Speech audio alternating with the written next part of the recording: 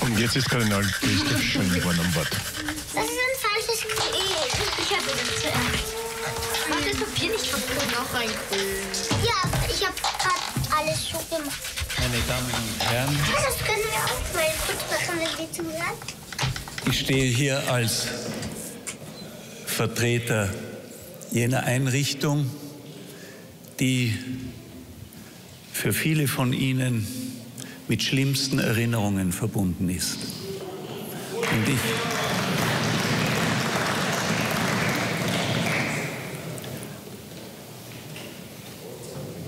ich bin in einer äh, Landschule aufgewachsen, Volksschule und dann ein Gymnasium, in dem die schwarze Pädagogik selbstverständlich war.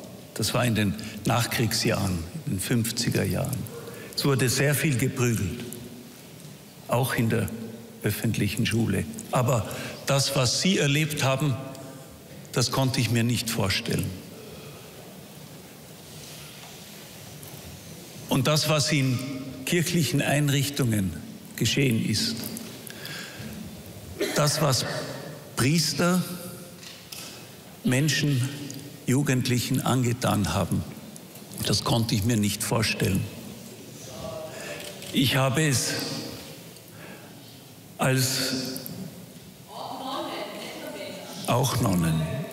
Ich habe als äh, zum ersten Mal laut und deutlich von kirchlichem Missbrauch die Rede war.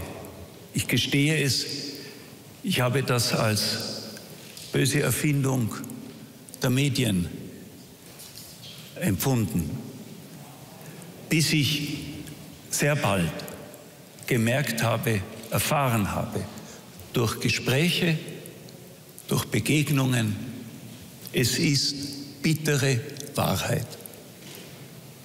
Und es hat mich und meine Mitarbeiterinnen und Mitarbeiter zur Überzeugung gebracht, nur eines hilft, die Wahrheit. Die Wahrheit wird euch frei machen, hat Jesus gesagt. Auch wenn es sie schwerfällt, hinzuschauen. Wir haben in der Kirche, wie auch im Staat, zu lange weggeschaut. Wir haben vertuscht. Wir haben, wenn Missbrauch bekannt geworden ist, Leute versetzt und nicht abgesetzt.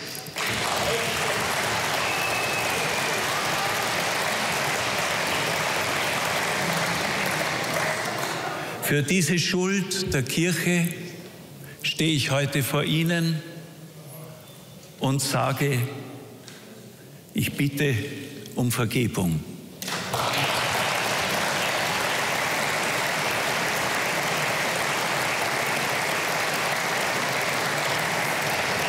Die Wahrheit macht frei, nur die Wahrheit.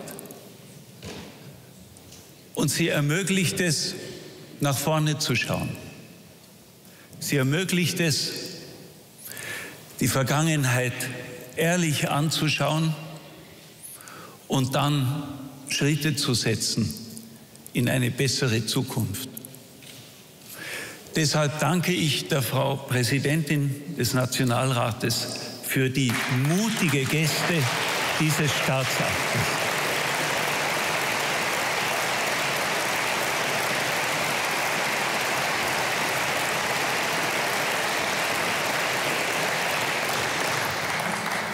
Wir können Verantwortung nur gemeinsam übernehmen. Und es ist ein starkes Zeichen, dass die höchsten Repräsentanten des Staates sich zu der Schuld, die an Ihnen und an vielen anderen geschehen ist, bekennen. Und ich stehe nicht an, dass die Kirche hier ihr Versagen genauso einbekennen muss.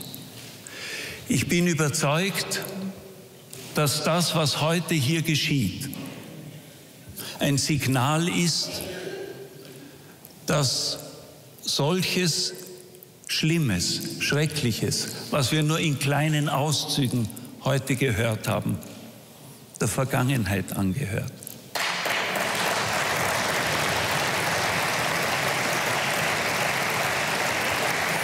Ich habe, ich habe vor dieser, diesem Staatsakt mit einem Opfer kirchlichen Missbrauches, schweren kirchlichen Missbrauches gesprochen.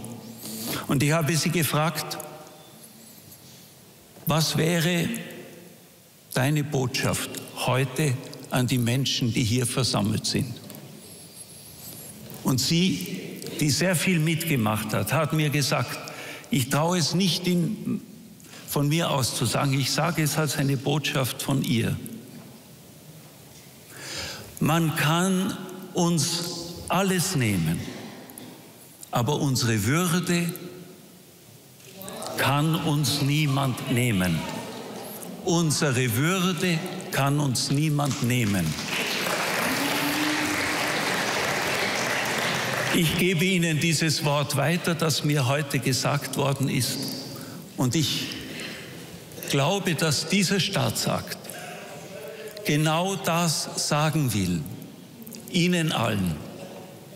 Es ist Ihnen viel an menschlicher Würde genommen worden, aber letztlich kann niemand Ihnen Ihre persönliche Würde nehmen. Das will heute dieser Staatsakt bekunden und in diesem Sinne verbeuge ich mich vor Ihnen und vor dem, was sie gelitten haben. Die Kirche und der Staat habe vertuscht, Leute versetzt und nicht abgesetzt. Er, Christoph Schönborn, bitte um Vergebung, sagt der Wiener Erzbischof in Richtung der Betroffenen.